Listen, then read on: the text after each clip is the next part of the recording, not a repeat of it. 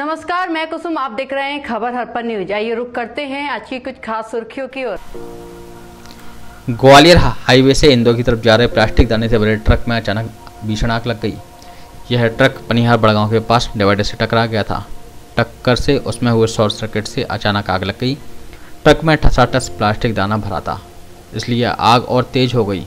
जान बचाने के लिए उसका चालक ट्रक से कूद गया और अपनी जान बचाई। मौके पर पहुँची फायर ब्रिगेड ने घंटों की मशक्कत के बाद आग पर काबू पाया। लेकिन ट्रक सहित लाखों का माल जलकर राख हो गया। वहीं पुलिस आग को लेकर जाँच पड़ताल में जुट गई है। दरअसल पनिहार थाना क्षेत्र के बड़ागांव स्थित ग्वालियर हाईवे से इंदौर की तरफ़ जा रहे एक ट्रक में अचानक आग लग गई। यह ट्रक प्लास्टिक का दाना लेकर इंदौर की तरफ़ जा रहा था। देखते ही देखते इस ट्रक को आग ने पूरी तरह से पेट में ले लिया। तभी ट्रक ड्राइवर ने ट्रक से कूदकर अपनी जान बचाई और इसकी सूचना फायर ब्रिगेड और पुलिस को दी। सूचना मिलते ही फायर ब्रिगेड की गाड़ियाँ मौके पर पहुँची और ट्रक की लिफ्टों में लिपटे ट्रक को बुझाने के लिए घंटों मशक्क़त करनी पड़ी। कई घंटों की मशक्क़त के बाद फायर ब्रिगेड ने आग पर काबू पाया। बताया जा रहा है कि ट्रक चालक ट्रक को लापरवाही से चलाते हुए ले जा रहा था, जिसका टायर फट जाने के कारण वहाँ डिवाइडर से टकरा गया और शॉर्ट सर्किट से उसमें आग लग गई। फ़िलहाल इस आग में ट्रक सहित लाखों का माल जलकर राख हो गया है। वहीं पुलिस ने ट्रक में आग लगने के कारणों का पता लगाने में जुट गई है।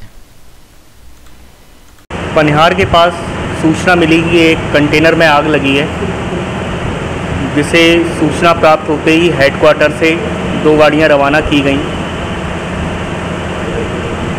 आग को पूर्ण रूप से काबू किया गया। ड्राइवर चालक के द्वारा बताया गया कि इसमें प्लास्टिक का सामान था, जिसमें फोम भी सप्लाई किया गया, तब जाके पूर्ण रूप से आग को बुझाया गया। लेके आग तक कहाँ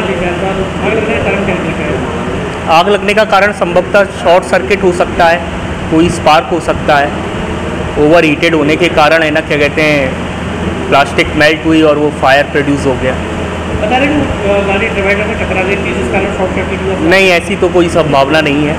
जो स्वतः ही है ना क्या कहते हैं कुछ ऐसा स्पार्क हुआ है जो स्वयं ही जल उठा है। कहाँ कहाँ ले जा रहा ये? ये पनिहार से होते हुए अपने है ना क्या कहते हैं आगे इंदौर की तरफ़।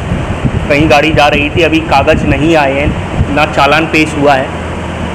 चालान जैसे ही वो फायर रिपोर्ट ली जाएगी तो उसके बारे बारे में स्वतः ही जानकारी मिल जाएगी। कितना नुकसान हुआ होगा? आग से आकलन अभी नुकसान का कोई नहीं हो पाया है अभी क्योंकि अभी कागज़ उनके द्वारा पेश नहीं किए गए हैं कितने का मटेरियल था कितने की बिल्टी थी। लाखों में हो सकता है। लाखों में हो सकता है अनुमानित नुकसान।